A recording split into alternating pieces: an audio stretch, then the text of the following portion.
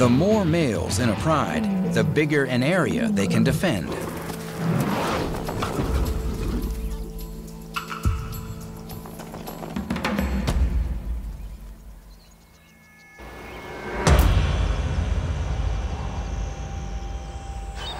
But right now, in Botswana's Okavango Delta, there's an extraordinary lion that's rewriting the rules. This is Mmamoriri, a perfectly ordinary male lion, complete with a characteristic mane. Right? Actually, no. Wrong.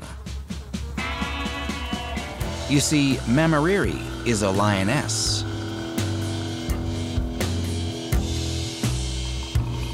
Despite appearances, she's definitely female.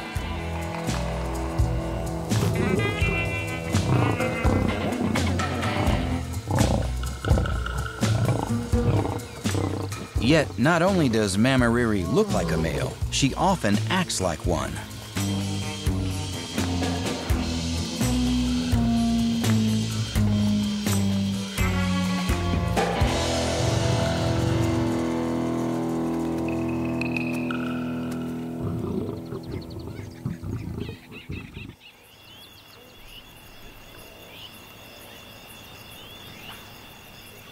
Even her roar is deeper and more masculine.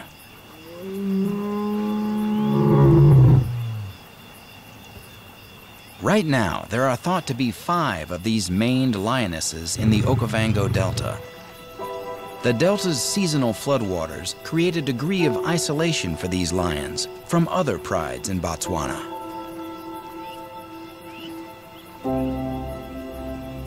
They probably all have the same genetic mutation, which has created an imbalance of hormones.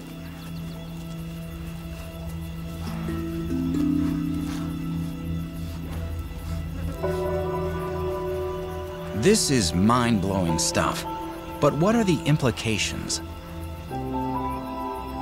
Well, even though she's treated like a lioness by her own pride, scientists suspect that because Mmamoriri mimics a male, rivals would believe that there are more males in her pride than there actually are.